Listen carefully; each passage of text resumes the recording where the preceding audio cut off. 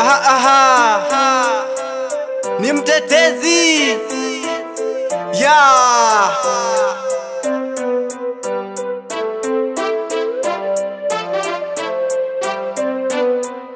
Ni mwisho wa dunia, ila kumbuka tu Mungu ndiye mkombozi. Ni nyakati za hatari, tukumbuke alitabiri kwamba siku za mwisho kutakuwa na vitisho. Kwa mila desturi wataomba Mungu bali, na wengine wajeuli watakuwa na vibuli, watakataa neno na kupenda malumbano, watakejeri Baba na wengine wataiba, watadhamini pesa na wengine pia nasa, na kuikana Sabato kwa sababu ya kipato. Tena bila uoga watakuwa ni mashoga, watakataa ukweli na kukosa maadili, hadi kwenye makambi watazitenda dhambi, watajichola nembo wakisema ni ulembo. Kwa mawazo mabaya watafanya umalaya na kumkufuru Mungu kwa sababu ya miungu. Wengine kama simba watazitoa mimba, watakosa hekima na kulala na wanyama. Tukumbuke kusalimana ndiyo siri ya kujiokoa. Tukeshe tukisali na pia tuhubiri kwa kila mkoa. Hizi siku za mwisho ni mwisho wa dunia.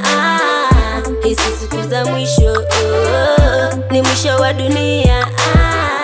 Ni tabu isiyokuwa na majibu, maana mengi mtaona na kushindwa kuelewana, huku mafuriko kule tetemeko, mtasikia vita na mengine yatapita. Hata watu wazima watasahau wema na kutesa yatima, huku Mungu anawaona tena. Na wachungaji watakuwa wauaji, watazimwaga damu kwa kuabudu sanamu. Kwa njia za matendo mtakosa upendo, wengine maskofu watakosa uaminifu, watabadili dini na kuifanya biashara tena bila imani wataikosa busara. Ishara za uhuni watavalia macheni, wengine manabii watakuja watapeli, wakitenda miujiza mtabaki kwenye giza, ndipo wengi watakufa kwa kukosa maarifa.